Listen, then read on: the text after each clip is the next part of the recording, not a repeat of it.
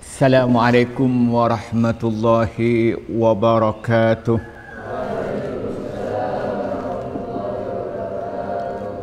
Alhamdulillahi rabbil alamin. Wassalatu wassalamu ala asrafil anbiya'i wal mursalin amma ba'du. Para santri yang saya hormati, ibu-ibu dan bapak-bapak yang saya hormati, Pertama-tamalah kita bersyukur kepada Allah Subhanahu wa taala atas segala nikmat yang Allah berikan kepada kita.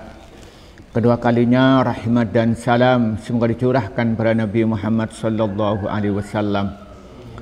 Para santri yang saya hormati, pada pertemuan kali ini kita akan mengkaji kitab Al-Kabair yang dikarang oleh Imam Az-Zahabi. Pada pertemuan kali ini akan membahas dosa besar yang ke-20 yaitu dosa besar judi. Bismillahirrahmanirrahim. Al-kabiratu adapun dosa besar al-isrunah yang ke-20 al-kimaru yaitu judi. Jadi kita akan membahas tentang dosa besar yang ke-20 adalah judi. Apa judi itu? Adalah segala bentuk permainan yang di situ mengandung taruhan, mengandung untung-untungan satu sama lain. Contoh, untungnya itu apa? Untungnya itu untung ruginya itu adalah harta. Contoh sederhana sampean. Ngambil kerikil. Siapa yang nanti ngena kayu itu nanti dapat bayaran. Jadi satu dua bilang taruhan. Siapa yang ngena nanti dapat uang, yang nggak ngena harus bayar. Ada nggak kayak itu? Lah itu judi. Loh kok itu kan kok cuma lempar-lemparan? Masanya bukan lempar-lemparan, tapi di situ taruhan, taruhannya. Ayo, pohon lempar pohon pinang. Yang nggak kena bayar, yang kena dapat. Itu namanya judi main kartu. Nah, yang kalah harus bah bayar, yang menang dapat bayaran. Itu namanya judi. Segala bentuk yang mengandung taruhan itu namanya judi. Qala berfirman Allah siapa Allah Ta'ala maha luhur Allah Ya ayyuhalladzina wahai orang banyak. Amanu yang beriman siapa orang banyak? Innamal khamru sungguhnya khamr. Wal maisiru dan judi. Wal ansabu dan berkorban untuk berhala. Wal azlamu dan mengadu nasib dengan anak panah. Rizun itu kotor. Min amali syaitani dari perbuatan setan Fastanibuhu maka hendaknya menjauhlah kalian semua. Hu dari semua. La'allakum agar kalian tuflihuna orang-orang yang beruntung. Innama yuridu ah sungguhnya berkehendak. Asyaiton setan ayuki'ah yaitu terjadi menimbulkan. Ayuki'ah menimbulkan apa setan bainakum antara kalian. Al adawatah pada permusuhan. Wal baghdha dan kebencian. Fil khamri dalam khamr. Wal maisir dan judi. Wa yasuddukum dan menghalangi. Kum pada siapa setan. Kum pada kalian semua andikrillah dari ingat Allah. Wa anis salati dan dari melaksanakan salat. Fahal antum muntahun maka hendaknya kalian berhenti. Di sini Ya ayyuhalladzina amanu innamal khamru wal maisru wal ansaw azlamu rizum min amali syaitan. Fastanibuhu la'allakum tuflihun. Hai orang-orang yang beriman. Allah memanggilnya dengan hai orang-orang yang beriman Innamal khamru wal maisul wal ansab wal azlamu ridzum min amali syaitan.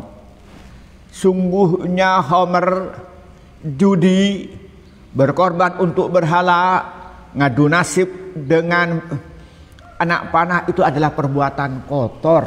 Perbuatan kotor termasuk perbuatan setan. Perbuatan setan maka hendaknya kalian menjauhi segala perbuatan itu kalau ingin beruntung maka jauhilah dan semua itu agar supaya kalian menjadi orang-orang yang beruntung. Yang pertama yang disuruh jauhi apa? Adalah ho, homer. Minuman-minuman yang memabukkan dengan segala bentuknya bisa dalam bentuk cair, bisa dalam bentuk serbuk, bisa dalam bentuk obat-obatan dan lain sebagainya. Baik itu dengan cara diminum, dimakan, dihirup, semuanya yang menimbulkan yaitu hilangnya kesadaran, yang menimbulkan hilangnya akal, maka itu termasuk homer dan hukumnya berdo, berdosa. Dan itu termasuk perbuatan yang kotor dan itu termasuk perbuatan setan. Berarti kalau sama-sama mengerjakannya, berarti apa bedanya dia dengan setannya? Sama-sama. Apa setan itu fungsinya? setan itu pasti pekerjaannya itu durhaka kepada Allah dan mengajak manusia pada perbuatan yang durhaka kepada Allah. Maka karena itu dia dirinya sama dengan setan. Sama kotornya. Kerjanya adalah bermaksud kepada Allah dan mengajak orang lain untuk berbuat dosa. Na'udzu. Yang kedua apa katanya? Wal maisiri judi dengan segala bentuk judinya. Yang penting di situ mengandung taruhan. Bisa dalam artian dia itu dipakai untuk kelihatannya lomba. Kelihatannya lom, lomba. Misalnya sampai apa? Lomba lari. Tapi semuanya harus bah, bayar. Lomba lari. Tapi semuanya harus bayar. Nanti yang menang yang dapat hadiah, yang kalah hanya dapat ru rugi. Itu jadi judi. Beda dengan sampean lomba lari nggak usah bayar. Lomba lari sudah. Nanti kalau sampean menang berprestasi baru sampean dapat hadiah. Ya kalau kalah sampean nggak bayar apa-apa. Itu bukan judi tapi kalau ternyata itu di dalam lari itu sebenarnya itu ada judinya. Sampean bayar kepada panitia. Kemudian setelah itu yang menang itu dapat hadiah, yang kalah rugi, itu termasuk judi. Apalagi misalnya lomba, apalagi? Lomba balap sepeda, lomba balap sepeda. Tapi apa yang terjadi? Dia itu harus bayar kepada panitia. Kalau yang menang dapat uang, yang kalah rugi itu termasuk judi. Main remi. Main remi. Yang kalah apa dia itu main remi kemudian apa? Ada tombok-tombokannya. Ada nggak kayak itu? Yang menang dibayar, yang kalah harus membayar. Yang menang kan dapat uang, yang kalah harus membayar. Itu judi. Itu apa? Ridsun, perbuatan kau kotor. Termasuk apa? Min amalish syaitan. Termasuk perbuatan setan. Maka hindari segala bentuk judi. Kadang-kadang orang itu mulai dari judi apa? Jadi kadang-kadang main remeh, telinganya dipasangin apa? Gantungan. Lama-lama pakai uang. Ada nggak? Nggak ada. Ada. Nah, itu katanya di sini itu min amali syaitan. Kemudian wal ansabu. Apa ansab itu? Berkorban untuk berhala. Itu pada zaman dulu jahiliyah. Orang memberi kekorban untuk Lata wal Uzza. Nah, kalau sekarang melakukan itu ya sama. Oh, dia itu menyembelih sabe misalnya untuk patung yang besar ya sama. Oh, ini saya akan menyembelih sapi untuk apa? Untuk sajen, untuk penjaga gunung, apa? Gunung apa kira-kira itu yang mengerikan itu yang keramat gitu kan nah itu kalau niatnya itu berkorban maka sama. Dia itu berkorban namanya memberikan sajen kepada dilakukan oleh berhala. Sekarang banyak orang melakukan itu sebenarnya mereka termasuk wal ansob tapi kalau disalahkan nggak mau dia. Dia langsung oh ini kalau ini dibilang kalau kita jelaskan ini perbuatan kamu ini termasuk ansob berkorban untuk berhala. Kalau dulu berkorban untuk berhala Lata wal Uzza, sekarang bisa jadi bentuknya berkorban untuk penjaga laut, berkorban untuk penjaga gunung. Ya sama sebenarnya. Tapi kalau disalahkan dia nggak terima, ya udahlah. Kalau nggak terima ya urusan dia gitu kan. Tapi yang jelas dia itu adalah perbuatan yang kotor, adalah perbuatan se setan. Nah, kemudian apalagi wal azlam mengundi nasib dengan anak panah. Dulu begini nih, kalau orang Arab itu mau pergi begini nih, pan anak panahnya dilepas, seret. Kalau anak panahnya itu jatuh ke kanan, oh berarti dia beruntung, berjalan.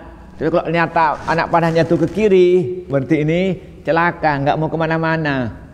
Itu namanya azlam, mengandung nasib dengan anak panah. Itu termasuk itu terbukti tidak percaya dengan takdir Allah. Itu perbuatan kotor, perbuatan setan. Kalau sekarang bisa jadi sampai dengan nasi apa? Melihat bintang. Bintangnya sampai hari ini bintangnya sekarang hari Selasa tanggal 30. Wah, bintang apa ini? Oh. Oh, ternyata bintangnya kok kedip-kedip ini. bintang apa namanya? Udah takut nggak pergi ke mana-mana. Itu namanya termasuk apa? termasuk azlam. Banyaklah kita ini. Kenapa berarti kenapa itu termasuk azlam? Karena itu termasuk tidak percaya dengan tak takdir. Dia berarti percaya dengan hal yang dilarang oleh Allah karena tidak ada yang tahu la ya'lamul ghaiba illallah. Tidak ada yang tahu kepada yang gaib itu kecuali Allah itu maka karena itu termasuk perbuatan kotor maka ini apa katanya fajtanibuhu la'allakum tuflihun. Maka jauhilah agar supaya kalian itu orang-orang orang yang beruntung. Kemudian Allah menjelaskan di sini secara khusus tentang apa? Tentang homer dan maisir. Tentang minuman yang mabukkan dan judi. Allah menampakkan innama yuridu syaitanu ayyuki abainakumul adawata wal baghdha'a fil khamri wal maisir katanya setan itu menginginkan menimbulkan menimbulkan permusuhan dan saling benci di antara kalian dengan khamr dan judi jadi Setan itu mempunyai instrumen kalau bahasa kerennya itu. Mempunyai cara bikin orang itu bermusuhan dan saling benci dengan apa? Dengan cara ho homer. Ketika orang itu sudah mabuk, waduh ngamuk-ngamuk terus. Setelah ngamuk menyakiti, ketika sadar benci. Orang kalau lagi mabuk itu kan nggak ingat. Ketika ingat bisa ngomongin kata-kata yang kotor, Nah, yang dimaki-maki itu kan sakit hati. Nah, ketika dia sembuh, sudah sadar dari mabuknya, jadi bermusuhan. Atau ketika dia mabuk mukul orang, kan menyakiti orang, maka yang dipukul tuh nggak terima. Akhirnya apa setelah itu? Setelah dia sadar, kedua-duanya menjadi bermusuhan. Nah, dia karena mabuk, dia nyetir, nabrak, mati orang yang ditabrak. Keluarganya mangkel. Kalau sesama-sama mabuknya bertengkar. Nah, maka karena itu dengan Homer itu dia menjadi apa? Bisa menimbulkan ada watawal wal bagda membermusuhan dan saling membenci. Bisa kalau parah bisa ada watah. Kalau di bawahnya bisa bagda. Itu di dalam masalah Homer. Kemudian wal maisir judi, kan judi itu ada kalah ada yang menang. Nggak mungkin selamanya tuh. Yang kalah itu apa? Mangkal. Aduh, saya kalah. Mesti marah kepada yang menang. Apalagi nanti dia mainnya curang. Wow. Kalau saya perhatikan itu orang-orang yang suka judi, mesti itu bermusuhan walaupun kelihatannya berteman, berteman berjudi, tapi sama mereka itu saling membenci. Karena yang kalah nggak rela kalau dirinya kalah dengan segala bentuk judi, bisa dalam bentuk undian, ya ini undian, tapi nanti harus bayar. Nah, pasti yang kalah itu sakit hati, mangkal kepada panitianya, kepada bandarnya, mesti mangkal. Nah, maka itu dibilang di situ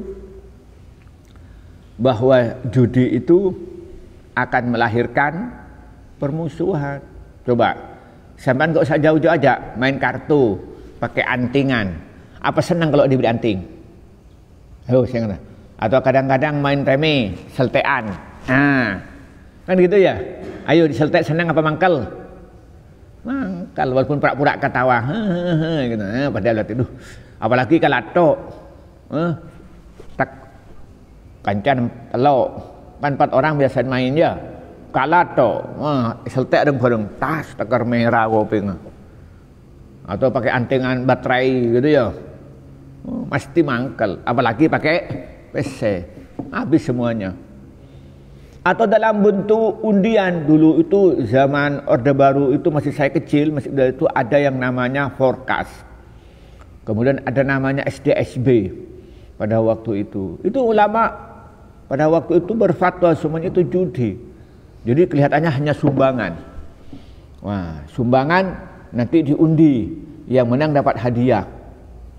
Ya. Yang menariknya kok kenapa yang jumbang kok bukan yang kaya-kaya, orang yang menghayal. Kalau beli satu undian dapat dapat nanti kalau menang undiannya dapat sekian. Udah orang menghayal, akhirnya Orang-orang yang miskin itu nggak kerja, hanya kerjanya beli undian, menghayal. Tambah habis sampai rumahnya dijual, dapurnya dijual. Itu adalah pasti mangkel. Mah, marah. Aduh. Lah karena itu katanya di sini ini bahwa kata Allah di sini khusus untuk masalah apa Homer dan judi itu membuat satu sama lain bermusuhan dan saling benci. Kemudian berikutnya kata wasyuddukum an dzikrillah. Dan dia itu membuat dia itu menu, apa menghalangi untuk ingat kepada Allah. Asik judi. Masa orang asik judi itu main kartu, apa main dalam segala bentuknya, main sekak yang isinya judi untuk taruhan. Masa hatinya Allah Allah Allah. Masa begitu? Ya enggak pikir bagaimana suruh mendengar gitu ya. Masa mikir. Nah, mesti yang dipikirkan untuk men menang. Wa anis sholat dan dia tidak ingat sholat. Waduh, hampir menang nih. Gak akan sholat. Iya pak iya. Coba sampai lagi main ingat ke sholat enggak? Enggak mungkin. Wah. Mesti yang dipikirkan terus menang, pakai adana tak dingin dingaki Pak Kun. Wah, Pak Kun. Kalau main remi. Iya pak iya. Atau main dadu. Tetap saja.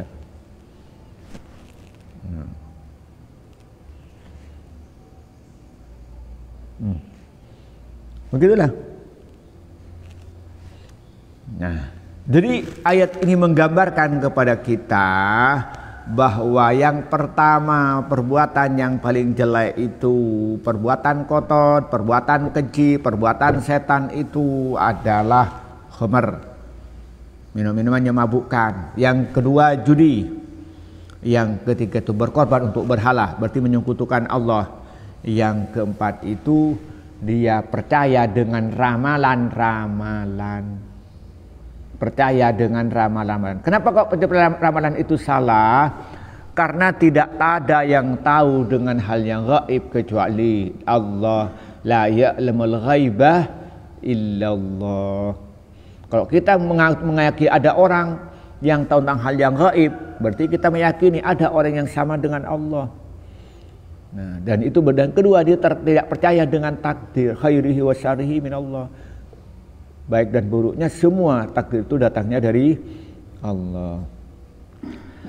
dan masalah homer dan judi itu ada dampak kehidupan sosial atau kehidupan pribadi. Kehidupan sosial menimbulkan permusuhan satu sama lain, menimbulkan saling benci satu sama lain. Nah, kalau sudah begitu masyarakat akan goncang. Kemudian secara pribadi dia itu lupa terhadap Allah dan lupa untuk melaksanakan sholat. Wal maisiruh dan adapun maisir wajah maisir al kimaru adalah judi judi bi nau'in dengan segala bentuknya nah. nardun bisa berupa nardun. Bi dengan segala bentuknya karena apa judi. Nardun situ satu berupa dadu ausatrongu ausatronju atau berupa sekak au khususun atau berupa kartu. Au au ki'abun. Hmm. Au juzun. Au ki'abun. Au juzun. Atau berupa kacang. Au bidun atau telur. Au haso atau berupa kerikil. Au ghairi au ghairi atau sebagainya.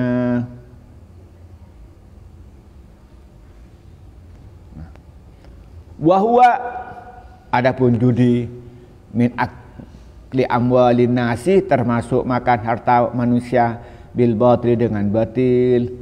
Alladzina yang ngelarang Allah siapa Allah anha dari anhu dari makan harta. Biqaulihi dengan firman Allah wala ta'kulu dan jangan makan kalian semua amwalan nasil harta manusia. Bainakum antara kalian bil batil dengan batil wadahilun dan judi masuk fi qaulin nabi sallam inna rajulan sungguhnya laki-laki yahuduna yang mengambil siapa laki-laki min malillahi hati Allah bi ghairi hakin dengan tanpa hak falahum maka itu bagi orang annaruh neraka yaumal kiamati pada hari kiamat. Jadi di sini apa katanya wal maisiru hiyal kimaru bi ayyi anwa'in kana. Yang disebut maisir itu adalah judi dengan segala bentuknya. Semua yang mengandung taruh-taruhan itu semuanya itu termasuk judi. Soal alatnya itu bermacam-macam. Apa yang pertama bisa Nardun berupa apa? Bisa berupa dadu. Rotogan itu ya, nah, buka itu kayak itu namanya dadu. Itu itu cuma alat, tapi tujuannya apa? Adalah judi, taruhan, maka hukumnya haram. Ausatron bisa berupa catur. Bukan caturnya yang jadi tujuan, tapi alat untuk apa? Untuk taruhan, sama hukumnya. Atau khusus bisa kartu, bisa remi, bisa domino, semua segala pokoknya dipakai untuk dalam bentuk taruhan maka hukumnya haram. Bahkan apa katanya aujuz, aujuzun apa kacang dibuat pakai alat umpamanya kacang dibungkus. Ayo berapa ini? Ini di mana kacang? Kalau pintar nebak, kacang sebagai tanah koro itu sama juga. Atau dipakai untuk ngelempar, atau dipakai dakon. Itu bukan masalah ini, tapi alat hanya alat itu untuk apa? Judi, untuk untuk taruhan, maka hukumnya disebut judi, disebut maisir. Atau keri, telur, udah nggak telur, Dulu itu apa? Tahu telur sampean? Oh, bukan ngajarin jelek saya, adu telur. Nah, saya kalah, saya bentes, kalah. Saya dulu masih kecilnya itu oleh orang tua saya itu nggak diperbolehkan pergi nonton apa tanggapan itu dulu itu kan ada orkes katanya orang Madura uh, ada perempuannya. Nah, yang boleh nonton itu kalau Al-Banjari. Kalau Al-Banjari boleh nonton. Dan ya Al-Banjari yang kalau tontonan-tontonan kayak sekarang tuh nggak boleh. Kalau ada Al-Banjari boleh, tapi kalau acaranya malam Jumat. Kalau saya malam Jumat tuh kan ngaji. Wah, nonton. Nah kadang-kadang itu ketemu, walaupun Al-Banjari gak kayak soal Al-Banjari itu rame kalau dulu. Katanya orang Madura namanya Al-Waton. Al-Banjari itu lah pada waktu itu. Nah rame nonton. Lah yang anak-anak muda itu judi pakai telur. Tahu judi pakai telur sampean? Jangan niru tapi bukan saya ngajarin kamu judi. Orang itu kan biasanya di kalau dulu tuh banyak orang jual telur apa telur etek ya. Nah, itu itu diadu, ya tuh pada telur itu bentes itu. Mau saya bentes kalah. Nah, mau saya tak bentes menang. Hmm. Ada yang pinter ahli itu. Tek tek tek wah kuat tek tek tek gitu hmm. saya ingat sekali dulu itu oleh ada yang yang saya teman itu bukan teman saya gitu yang berdampingan itu dia menang banyak dia kan punya keahlian. Hmm. setelah itu mau diberikan teman-temannya. Saya nggak mau. Saya bilang ini haram bilang apa jawabnya ke saya? Bilang haram telur. Mana ada telur haram? Telurnya nggak haram hasilnya judi itu yang haram saya bilang. Hmm, dia punya keahlian. Jadi dengerin begini tek tek tek katanya. Oh ini berarti kuat itu nah cara ngadunya itu pintar dia. Bagaimana beli orang si bentes itu? Gitu. itu namanya apa walbit itu. Itu dulu begitu. Hmm. ada yang lagi yang curang bawa di rumahnya. Bawa di rumahnya. Telurnya itu nggak di, uh, tidak dimasak. Dilobangin diambil pakai jarum. Nah, kuat itu. Ada yang curang begitu tuh dulu. Kalau sekarang saya nggak pernah ngelihat orang-orang judi telur itu. Ini masih kecil itu kan nggak nontonnya Al-Banjari kalau nonton tanggapan-tanggapan yang nyanyi itu oleh sekolah itu turunkan kelas. Dua bayangkan. Jadi kalau kamu kelas 3 turunkan kelas 2 Wah nggak ada yang berani itu. Kalau kiai ketahuan, kalau pacaran diturunkan kelas, katakan dua kali. Itu diusir itu di pondok dulu. Jadi ada teman saya itu satu kelas dengan saya sudah mau tamatan, mau wisuda, wisuda kurang satu hari pacaran diturunkan, nangis orang tuanya jadi jerit. Sudah sudah beli baju. Kalau dulu itu kalau wisuda itu kan kalau saya masih di Madura, wisuda itu meriah naik kuda keliling desa. Wah, des, naik kuda, kemudian dipakein jubah kayak orang Arab itu, kuda pakai ini pakai ini, lalu bareng kemudian dikawal dengan trompet kayak sama tuh deng deng deng gitu. Oh kan, di depan itu Al-Bajari ya terbang kayak manten itu di belakang anu apa dromben wow. keliling desa wah gagah kalau bilang katanya istrinya tamatan gitu. Nah teman saya ini mau tamatan kurang satu hari ketahuan pacaran langsung diturunkan oleh kiai. Udah nangis. Eh kemarin ketemu dengan saya yang kena itu. Ketemu acara reunian. Deh katanya sudah. Eh waduh dah katanya. Iya. Wah kamu yang itu ya? Udah ketawa. Iya iya, iya inget gitu. Nah, kalau sekarang kamu mau diturunkan kelas dah kalau pacaran. Nah, nanti mau wisuda nggak ada wisudaan pacaran. Sudah turunkan lagi. Nah di sini. Maka di sini katanya bisa berupa apa? Haso kerikil. Kadang itu udah nggak ada yang pakai judi. Kerikil dipakai alat judi. Nah, dibuat lempar-lemparan, dibuat tebak-tebakan. Bahkan kadang-kadang kalau nggak ada judi lagi orang apa? Plat nomor dibuat judi. Orang duduk di pojokan.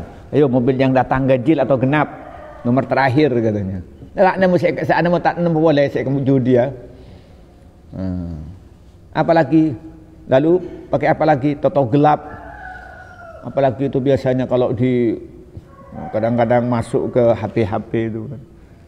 Semuanya pokoknya segala bentuk yang isinya itu taruhan, mengandung gambling yang besar-besaran, maka itu hukumnya judi. Kenapa katanya?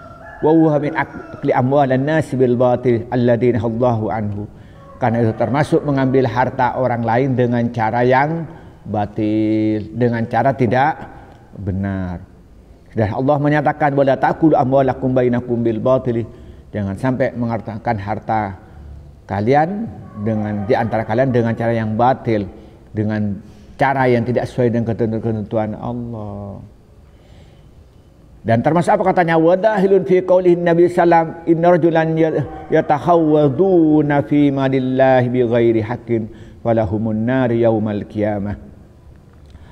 Seseorang yang berusaha mengambil harta Allah dengan cara yang tidak benar maka dia akan mendapatkan api neraka pada hari kiamat. Jadi yang judi-judi yang macam itu termasuk ngambil harta Allah dengan cara yang tidak benar. Ya nanti bagiannya hari kiamat akan mendapatkan adab dari Allah. Wa fi sahihil Bukhari dan dalam sahih Bukhari anna Rasulullah sungguhnya Rasulullah kala bersabda Nabi man adapun orang kala yang berkata siapa orang di sahibihi pada temannya apa perkataannya Ta'ali, mari ke sini. Ukamiruka, ta'ali ke sinilah kamu. Uka ukami ukamiruka. Ukamiru akan berjudi sayakah denganmu? Falyatasaddaq maka hendak bersedekah.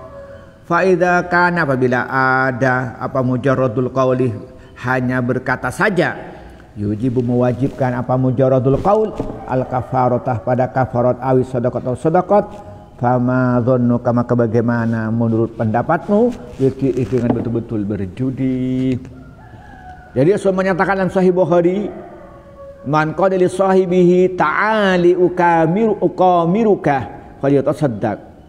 Kalau ada orang yang bercanda dengan temannya, "Eh, ayo kita judi."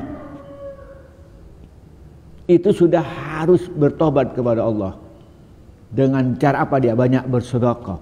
Hanya ngomong saja begitu bercanda. Ayo kita main yuk. Ayo kita judi. Hanya bercanda begitu. Itu sudah harus bertobat kepada Allah. Harus banyak kafar. Bagaimana kalau betul-betul judi? Itu betapa besarnya dosa eh, judi. Jelas ya? Nah, soal nanti bagaimana hukumnya main tebak-tebakan, main remi, hanya sekedar memang santai-santai tidak ada taruhannya. Dan bagaimana kalau main sekak, main catur sekedar santai-santai, hukumnya haram atau tidak? Ulama beda pendapat, nanti kita akan bahas pada pertemuan yang akan datang. Inilah yang kita sampaikan pada pagi ini, kesimpulannya bahwa Dosa besar yang ke-20 adalah judi. Judi itu adalah bentuk perbuatan yang mengandung taruhan. Dan apa pun bentuk alatnya yang digunakan untuk taruhan, hukumnya haram, termasuk dosa besar, dan itu perbuatan kotor dan perbuatan setan, dan terutama homer dan judi. Dampaknya itu adalah bermusuhan, saling membenci dan lalai mengingat Allah bahkan dia lalai melaksanakan solat. Inilah kata sampaikan pada pagi ini semoga bermanfaat. Wallahul muwaffiq ila Wassalamualaikum warahmatullahi wabarakatuh.